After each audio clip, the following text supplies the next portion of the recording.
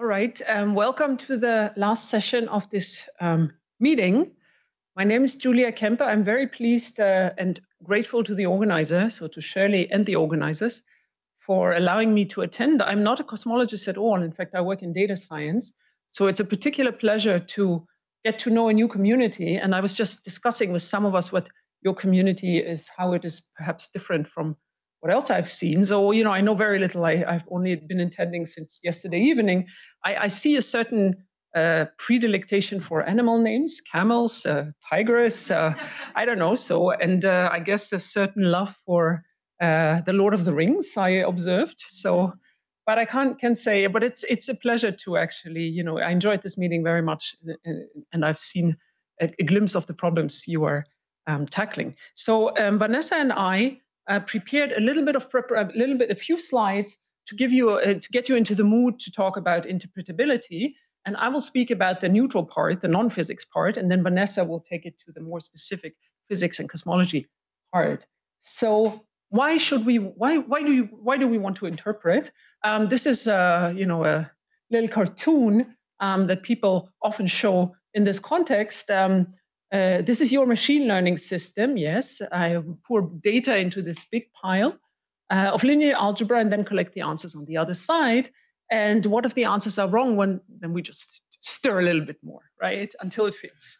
So um, this is a bit of a cynical view, perhaps, of machine learning. Um, um, so you know, but uh, it's clear that there is a certain need to understand what we are doing, at least if we want to do it well. Um, so what, what do we want to do? Explain or interpret? So I believe uh, this discourse already goes on in the field for the last, uh, I, would say the papers date back to 2015, 2016 that try to put interpretability on some sort of uh, theoretical footing. Um, so people distinguish between, you know, interpretable and explainable. Interpretable means why did the model just do what it did? And explainable is more like how does this model work? I mean, I, I guess this is just a little bit of uh, wordplay, but what is interpretability? Um, it's basically like beauty, it's a bit in the eyes of the beholders. So, interpretability is uh, a system is interpretable um, when the operations can be understood by a human. So, it's you see the beholder is there, the human or the scientist, either through introspection or uh, through a produced explanation. Right. So that's what uh, kind of the, the running definition of interpretability is. Um, and why and what's the problem that people what are the problems people usually are facing where interpretability could help? Um, you know machine learning systems are now used not only in cosmology as you probably know but in all kinds of other real life applications.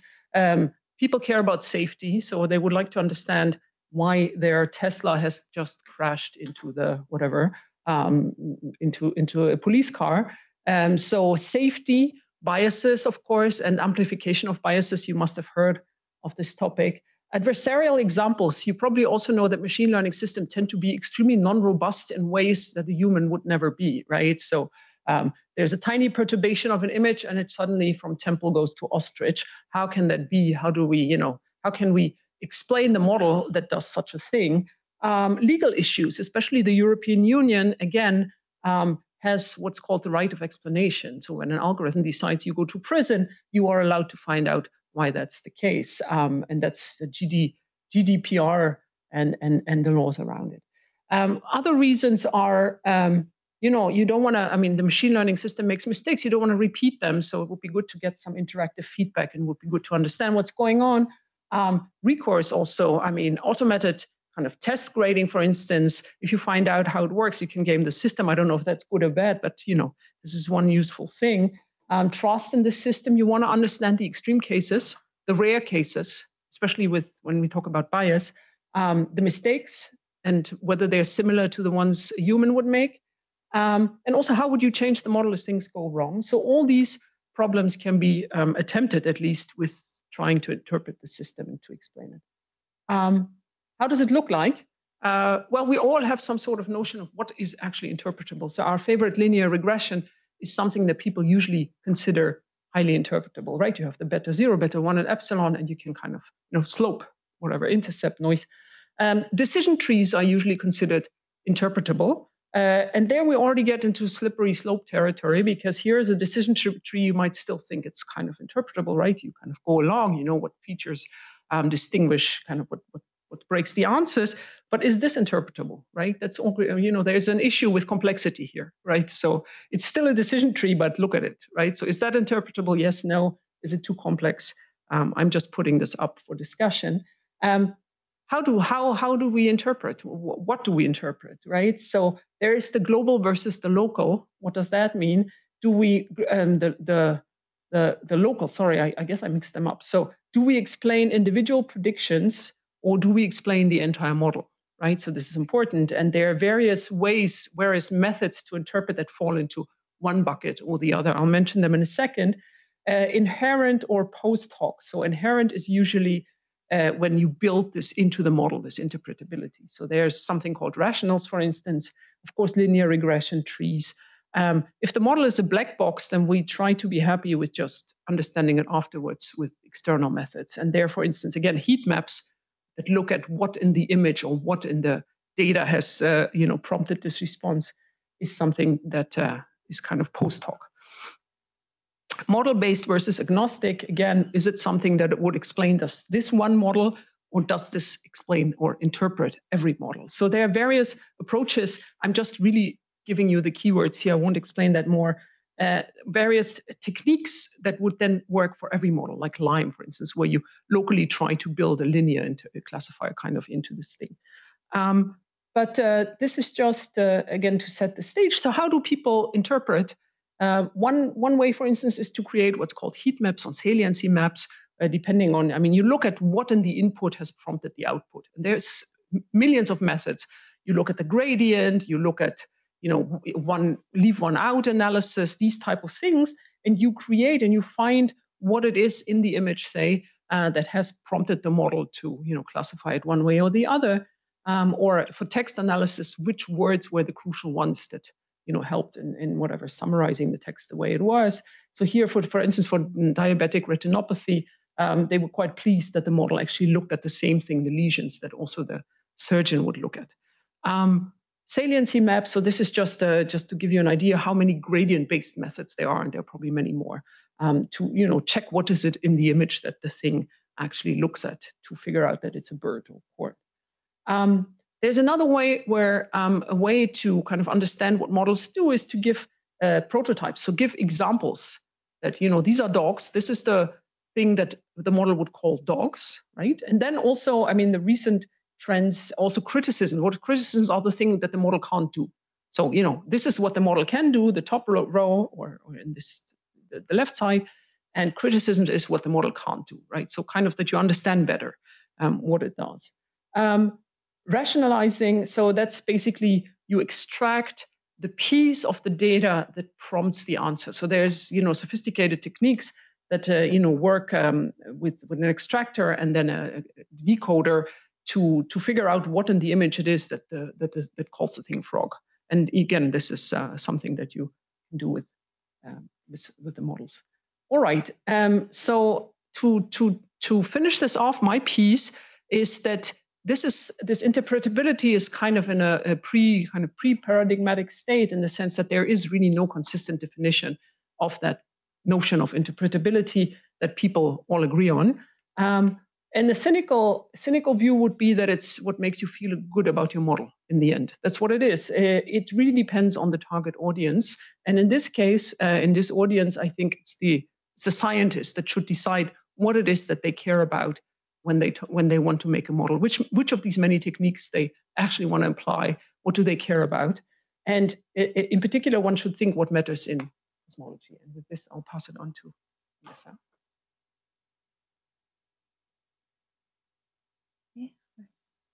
How do I change slide here? Oh, the green button. Okay. All right. So turning now to cosmology. Um, so I feel like interpretation uh, and interpretability has already been kind of like a recurring theme in this workshop. It has kind of been there from, with us from the beginning.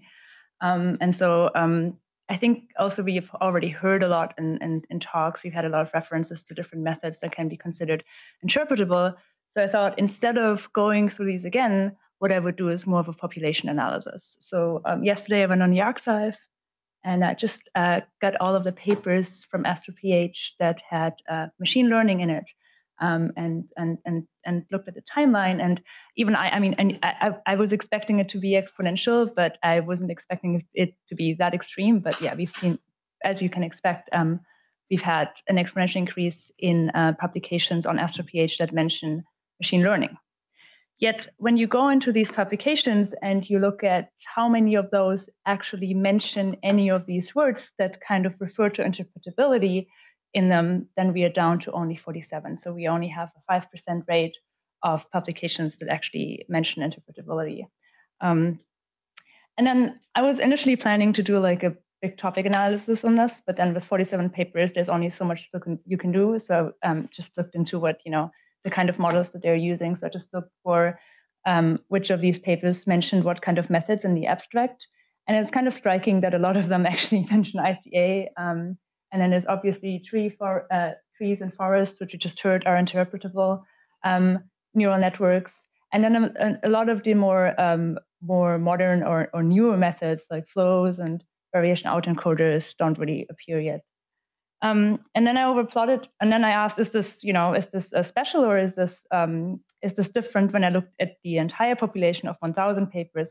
And turns out that it's actually basically the same. So there's not much not much signal in here.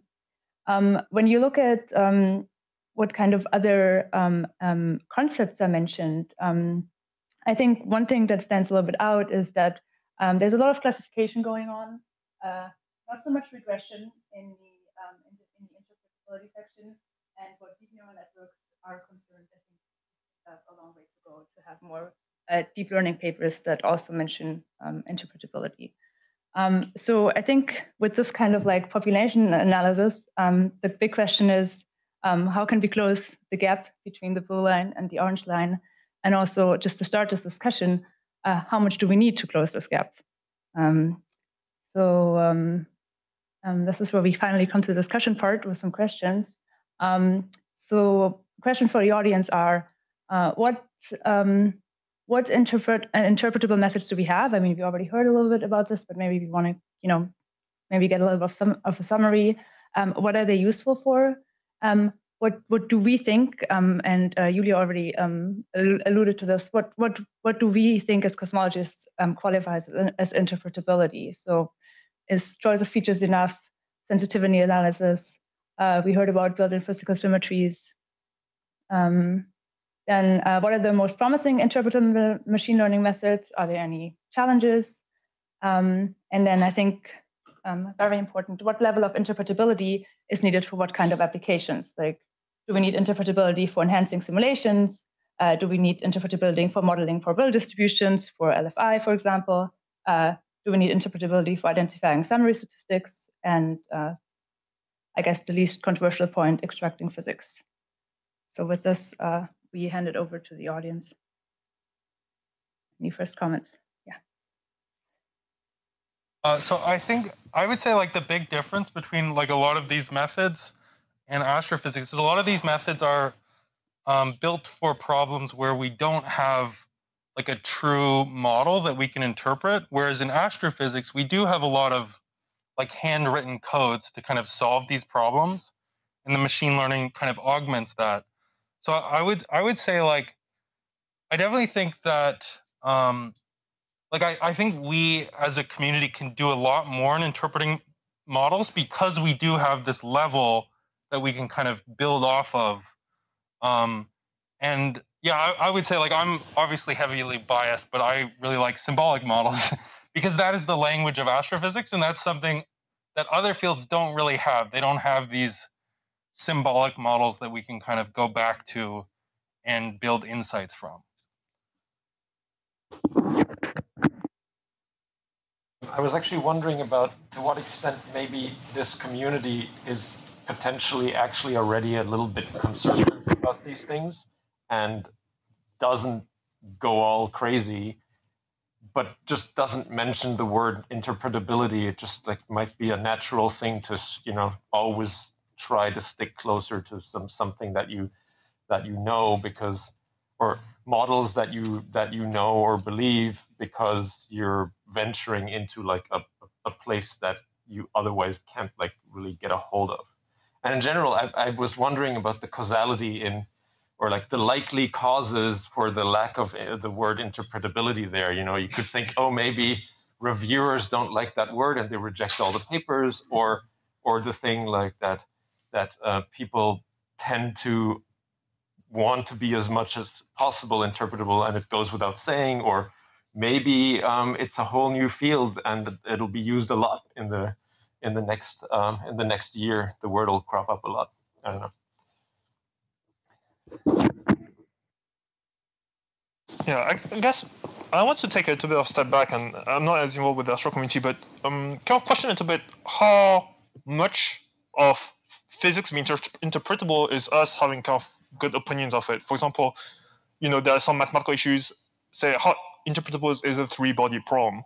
We understand equations to some context, but we cannot predict what would happen uh, at a long time scale similarly to, you know, in some contexts, we might have some understanding of what a machine learning model does, but we can't predict everything. And question, for example, even if you have symbolic equations, say the Einstein field equations, how much do we understand them truly? It might take 20 years of research to be able to come with a reasonable description of a charged black hole, which stem from the Einstein field equations. You know, just because we can write down some simple looking equations that rely on a huge amount of math does not necessarily mean that we understand exactly what the model is doing. And I think looking at what we require to be happy with our current you know knowledge is a good way to inform what we would require from machine learning models to be happy with them also.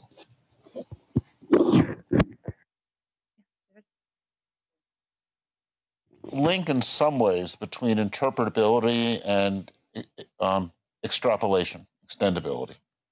That if you're uh, you know and this this goes uh, you know to the one of the advantages of uh, things like ha- having functional representations of what's going on, um, or being able to say, like, this information is coming from the power spectrum plus other information that looks like higher moments and lets us know when we, you know, uh, when we can extrapolate. And in, interpretability, in, to what extent does it matter? What, what is the link between extrapolation and interpretability.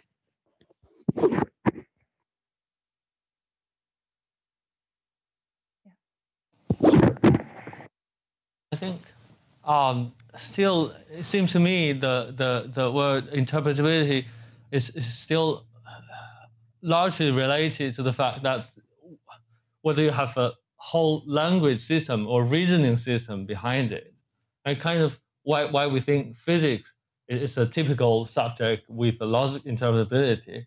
It's because we have the mathematical language behind it. So I think this also uh, highly related to what David said about extrapolation, right? If, if if you acknowledge belief in the in the formula, then you can really extrapolate very boldly. So yeah, so and, and also you can you can use your reasoning to to to really really go beyond what what what you just observed. I think this, is also similar to what, what Peng said. Uh, like doing science is not just collecting fact. It's, it's, it's, it's using the blocks to build a building. The, the blocks themselves are, are not a building, are not a house. So it's, it's science is, is like we, we, we, we should not only just collect some facts, but also organize them, provide some understanding. And the system, the whole system uh, to talk about it and to reason about it. I think that's actually what, what machine learning now is kind of lacking. I, I don't believe in the future it will still be like this. I believe there will be also more research about how, how to uh, understand kind of the mathematics of a neural network. But at least for now, I think that's, that's still something very missing. So, so just, you know, um, add to this. Um, so there is i think this point to be made or this question to be asked like do we really want you know can we always achieve interpretability at the level of where we get equations and you know we get some intuition for these equations like in symbolic regression um, or are we maybe in some cases also okay if we can just verify you know if we can as we you know we saw that example with the um, adversarial attacks yeah we can actually by sensitivity analysis, we can look at what kind of transformations to the data would make our model fail. Are we okay with just, you know, running a lot of these tests and then feeling comfortable like we maybe do, you know, when we when we when we run simulations, usually, you know, there are hyperparameters there that are that you have to tune, like resolution parameters and so on. And we also, you know, we, we just like test them. And then at some point we say, now we are confident enough and we just move forward. Um, are we, do we feel comfortable enough to do that in machine learning or do we feel different about machine learning and why?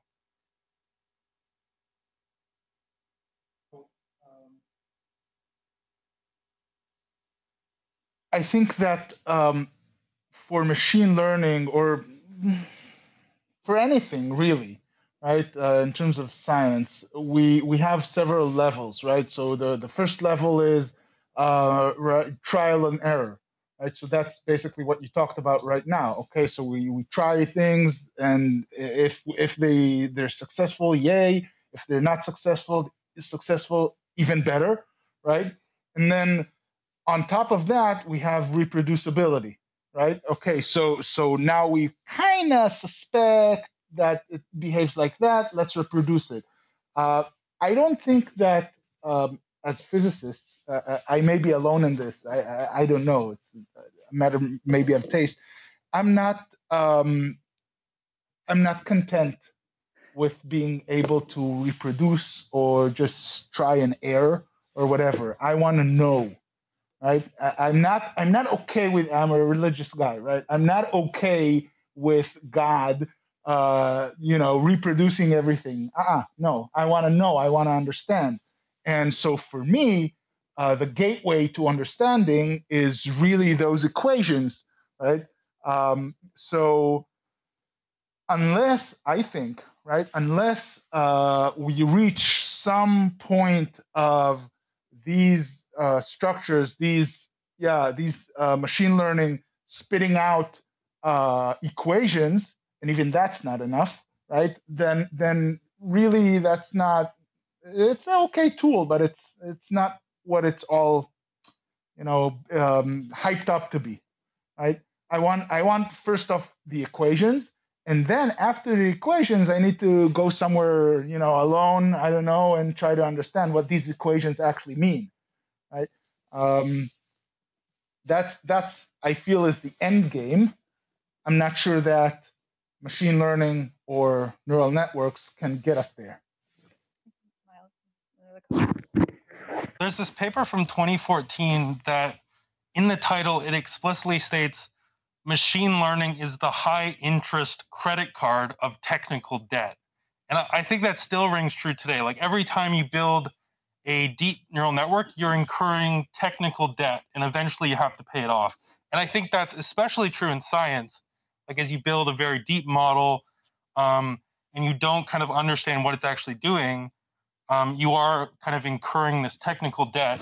And this is this is like the main difference between engineering and science. In engineering, maybe you just want to predict something or do something better. But in science, it's really about understanding why something is and that's why I think like interpretability should be a core part of ML uh, for astrophysics and physics. But should it be a, a, core of all of these, of all of our applications, or only for special for certain applications? Like, what is your take on, for example, modeling probability distributions? Is that the same thing, like, or so, like I think at some level, like if it's a low dimensional probability distribution, like if it's just like a Gaussian mixture model, like I don't think you need to understand why the Gaussian mixture model has certain parameters. Like, yeah. I think I think it it's definitely a gradient for when you need interpretability, but I I think like in very high dimensional spaces, I think it's very important in the field to have like a strong interpretation of your model because that's really the then, point you know, of natural we run science. HMC, and there's no way like we, we we can only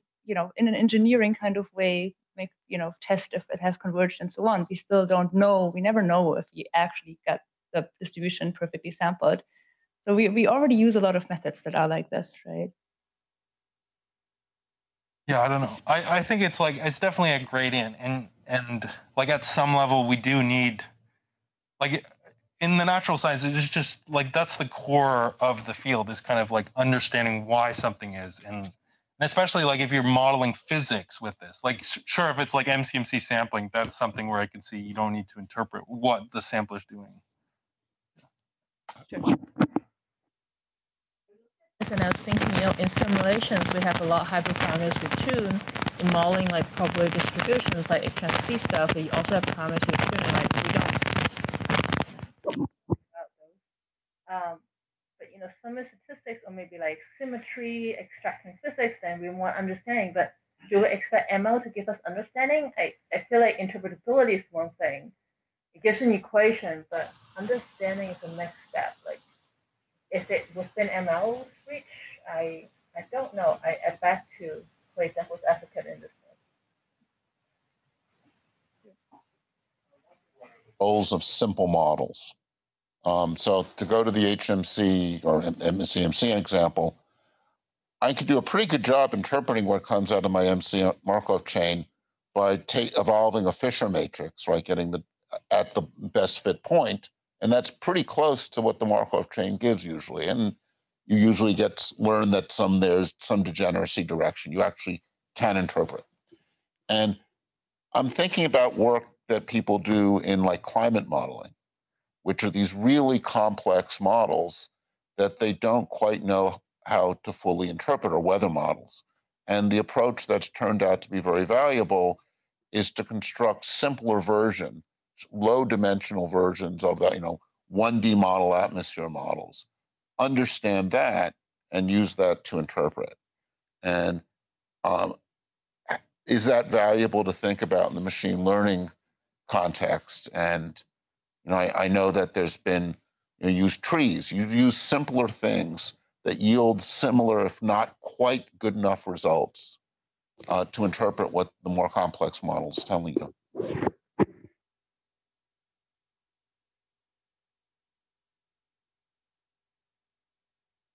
Uh, yeah, I want to reflect a bit on just even if we forget machine learning, this notion of understanding and what do we mean by understanding. So obviously here in the physics community, we're quite close to what we believe is a true description, although no one here would say that we need to understand QFT to understand star formation, even though some of the aspects of nuclear reactions do require understanding of the quantum mechanics in principle, but we have good enough approximate models that we feel describe, you know, that fitted post hoc to observations rather than derived from principles, but describe close enough, you know, the mechanics that we feel happy with those. But if we go like, you know, maybe in chemistry even already, chemistry is not physics extended, right? It's not an application of physics. Chemistry is its own scientific field, and the understanding of chemistry comes from internal chemical frameworks, which we know describes approximations of the reality, which is the quantum mechanics behind it.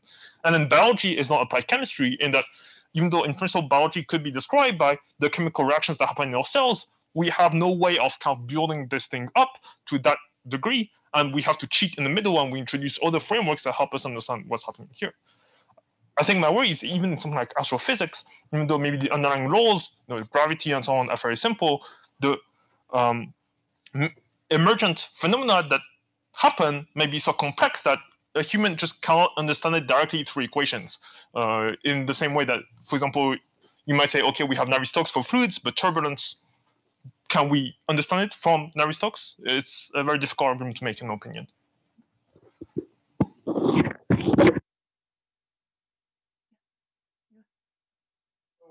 want to address what um, uh, you know, David and uh, you know, said. Basic i think that we feel we understand something when it converges on one of two classes that uh, you know belong in computer science or mathematics. So one of them is regular languages right? When you have basically a complete dictionary and the rules that go on with that that in that way we understand something or you have a general dynamic uh, that you can, given one step, can predict the next step, but in but in a uh, let's say justifiable way, right? So in that sense, I think it might be. So this is quite adjacent to game theory, and I think uh, we might look uh, as a community, we might look to game theory uh, concepts in order to um, kind of borrow those concepts of interpretability in terms of physics and so on.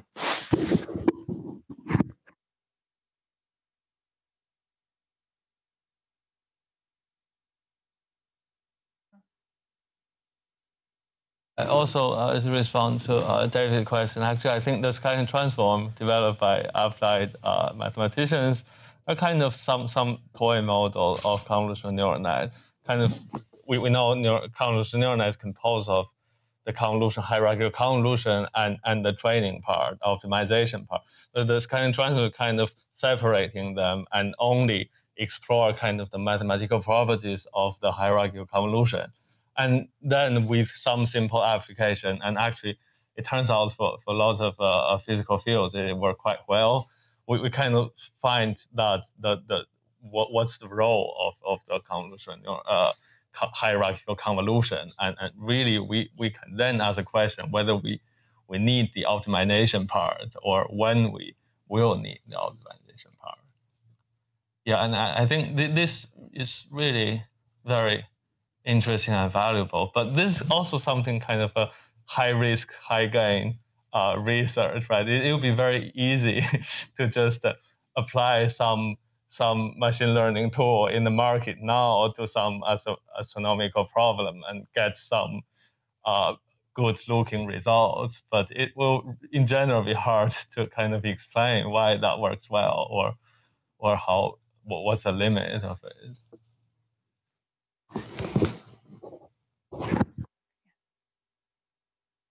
I have a more basic question in that have we as a community ever like discussed what are the levels of interpretability that we have before we decide what level of interpretability is needed for what application? So like what are we interested in? Is it like just uh, interpolations, extrapolations, predictions, or like understanding some fundamental laws? So yeah, that was the one question that I had that have people given thought about that?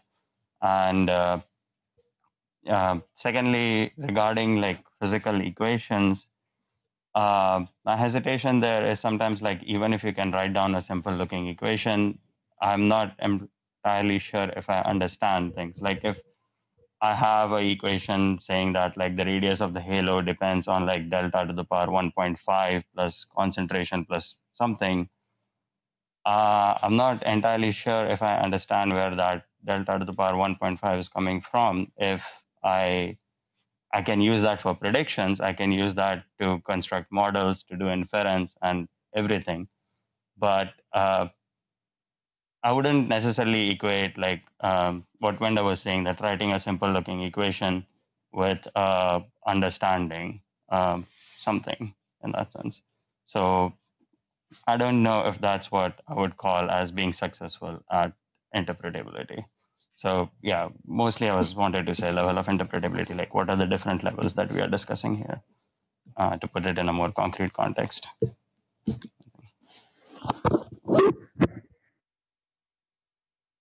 have a vague comment on what Chirag just said, but I think we're conflating maybe interpretability and other stuff. Like I think the you get an equation, the, the point is like to make you to ask the question like why why this equation works. And then you have to think about it, and I think that's your job, not machine learning job. But I mean we're doing our best. but but I think I think maybe you're right, and it's not interpretability, and we're conflating concepts but I don't know what's the other word then.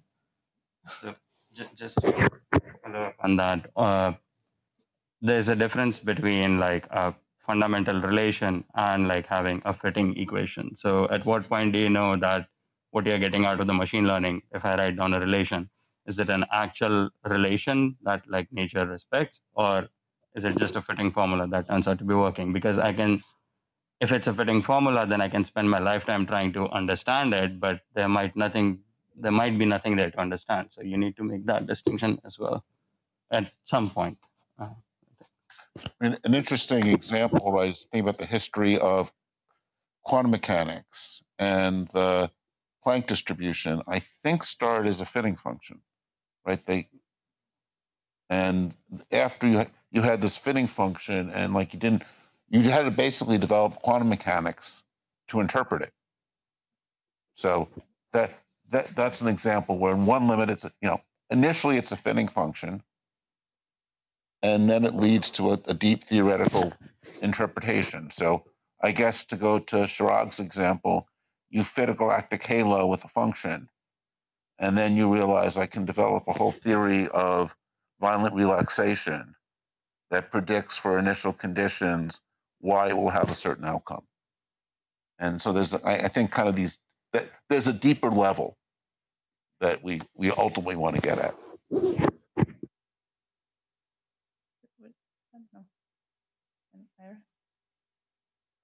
So, so to complement that discussion, um, I just had an idea right now that that um, maybe the the deeper level of understanding is when you, as a physicist, can uh, address the question at the level of how many piano tuners are in Manhattan, right?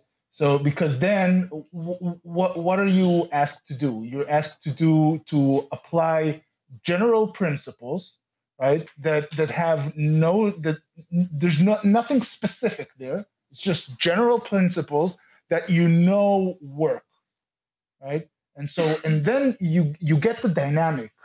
You you have no idea how to calculate it. You get the dynamic, and then maybe okay, you need one observation to get to a, a guesstimated answer.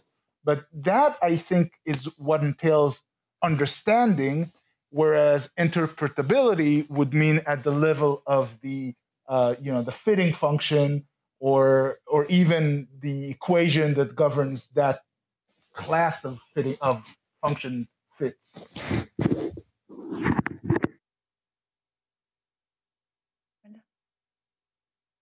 Uh, kind of on this, uh, uh, then I have a general question for kind of cosmology as a field in that we emphasize the simplicity, but what if the true underlying phenomenon is beyond a simple one-page equation description?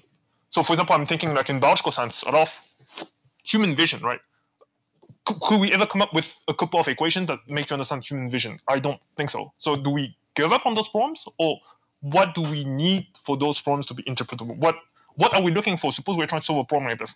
What would what should we be looking for? What should we require from a paper that claims to solve such a problem, and so on. I think that's something that's very interesting to think about. You know, uh, in some cases, we there's not going to be a simple equation, and what level of trust and verification, maybe uh, these kind of things, should we try to look in that case?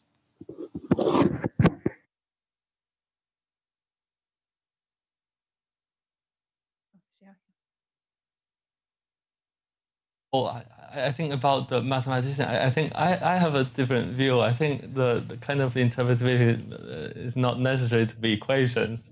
As long as we can reason with some language, that's fine. So for example, like for, for the machine, we, we might not be able, I think, finally to write down some equation governing neural network. It's already a, a, an equations, right? But but perhaps we, we, we should finally be able to kind of tell which part, the, the function of which part is what, and in what condition it can work well, in what condition it does not work well. So especially the, the, the, the second part, like what, what's provided by the adversarial examples, I think those really help a lot about understanding the, the behavior of neural network.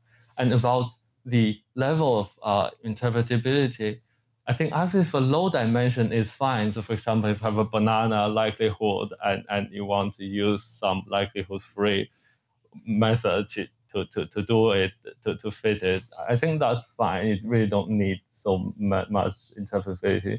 But it might be a bit dangerous when you go to higher dimensions still because of the problem that, I mean, with limited number of simulations, we, we have kind of the, the the limited information, right, cost coming from the sampling, limit sampling. So there there are intrinsic error of, of our knowledge. So I mean how how we, I think sometimes we really, really need to think why we expect using a limit set we can increase like like especially for the acceleration of simulations we, we train the network based on limited uh, uh, uh, simulations, and then we expect we can scale it up to one million uh, simulations and to, to for, for some inference. But but how the, the accuracy is all just built based on the 1,000 simulation. So then what what we gain from this? I think this is a really good point. I mean, one of the things um, I guess that, that I'm wondering about here is also, I mean, as long as I can quantify, like in this example, for example, like how many simulations do I need to get, at, or do I need at least to get confidence levels, accurate confidence level, confidence levels, or um, you know, as long as I have some proven guarantees, maybe I'm I'm happy enough. You know, as long as there's there's enough theory behind it. Um, and I guess that's not exactly interpretability. Like as long as I can I can tell like there's there's there's this and this guarantee that I will reach at least this accuracy with this in this method. Maybe I'm happy with it. Or if I can, you know, get the epistemic and aleatoric uncertainty of my model fine enough to get like the error bars correct. Maybe in, in certain instances when I, for example, only care about constraining certain parameters in a physical model that I already know, maybe I'm happy with that, you know, and I just have like a really messy data set that has maybe a lot of physics that I'm not interested in. I just need to extract some something out of it. And I use a neural network for it, and I can quantify all of the uncertainties in it. Maybe I'm okay with just getting an answer for this parameter from this network. Like gas physics, for example, in cosmology would be for us cosmologists would be, I guess, an, an example for this. Any, any opinions? Yeah, again. Uh, uh, about this, still about like like the, the speed up. I think I, I perhaps I just re, re, repeat myself again. Uh, kind of, I don't believe neural network can can do kind of magic or miracle things. We, we shouldn't expect that. It's kind of um, that that because that will be very dangerous. Um, actually, like for example, when you have a chance to really speed up some algorithm, that's because there there should be a reason behind it. There's some simplicity of of this particular question itself. Again, the the the the, the example is fast Fourier transform. That's because Fourier transform is not just a random transform. It's it's some particularly simple transform. That's why you can make it log and log n. So I think again, neural network will might help us to find some simplicity in some kind of data, especially like field or high dimensional things. But really, the interpretability is about us understanding what, what is the simplicity, why, why neural network match some of the particular data. I think without this, we will tend to think it's a magic or, or miracle. But with this kind of interpretability, that will make it much safer.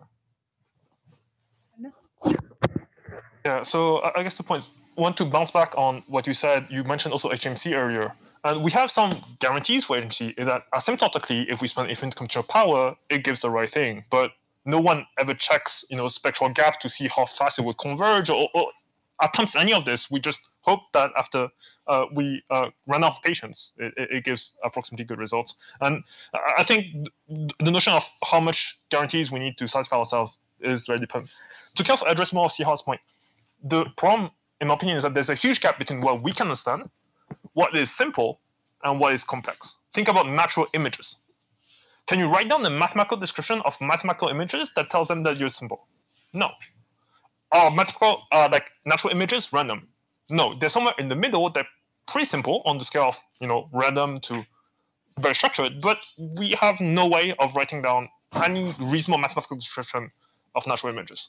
And I'm worried that as we progress towards more and more complex problems, that we solve the linear Gaussian part where we can easily write down the equation. That's done. We're happy with those models. They work well in some cases.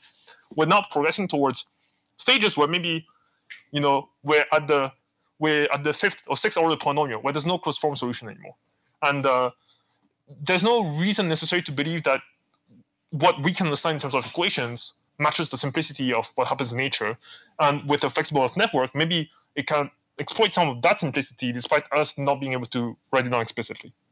I think a good example this I call here for example, when we do image reconstruction, right? If you assume a Gaussian prior, you know it's suboptimal because the pixels are not Gaussian distributed, distributed, but you can learn a prior from the images with your machine learning model. And then you still have, you know, your forward model and your and and your likelihood to take care of like this is just your prior, this is just your pre-knowledge. So in a sense, I think you know, you know, like for these kind of applications, I think we don't. Uh, my personal opinion is that we don't have to interpret what the machine learning model does to learn the prior, as long as it helps us solve this problem.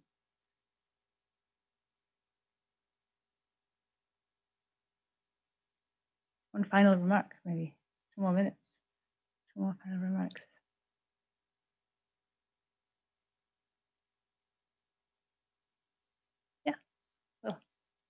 This is something we sort of touched on loosely, but I think in the broader astrophysics community, uh, interpret interpretability and sort of trust are used interchangeably, and and I think you know if if they are different questions, but to some extent, uh, if I develop some method and even if I've tested it on a huge suite of simulations, if I then apply it to I don't know BOSS data and discover something new and surprising, uh, would even I believe it if if it was a completely you know opaque system to me, even if you've tested it very thoroughly on your simulations. Uh, interpretability often gives us some more confidence in things, I think. Just to address this, uh, uh, I, I, believe it's something akin to the prior of you know Bayesian statistics, right? You basically you can put anything you want into the prior, including the level of your belief in something, right? And and so and if you know if if you trust something, you would put a prior that is very very close to what you believe will be, right? And so on and so forth. So it's really, um, in a sense, it's coming full circle to uh, to eye of the beholder. Or, what what feels good, what gives us a feel good uh, uh, feeling, right? Eh, I don't know. I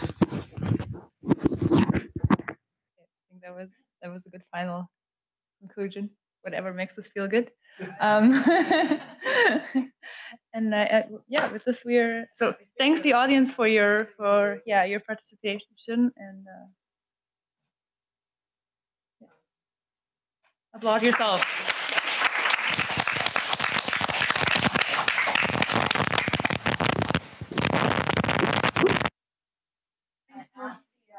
the actual organizers. Thank you to everyone for coming to the first in-person machine cosmology cross machine learning uh, workshop after post pandemic. No, I don't think post well. And uh, so thanks to the speakers for the great talks. Thanks to the chairs for the great discussion. We hope that uh, you got some inspiration for new project. And uh, tomorrow we will have this hack day. So we hope you can collaborate each other or create a new project, new interaction.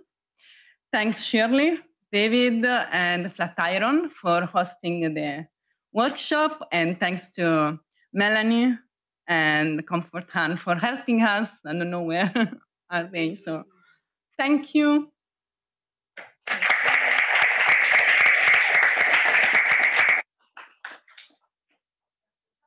There's and uh, someone lost something, please go down to the lobby to check with security. Um, another thing, if you want to stay tomorrow and don't expect free lunch hanging in here, you should let us know and then we can get your stimulus account so you can order lunch. Yep, I think we have covered all bases. All right, thank you everyone. Drinks upstairs.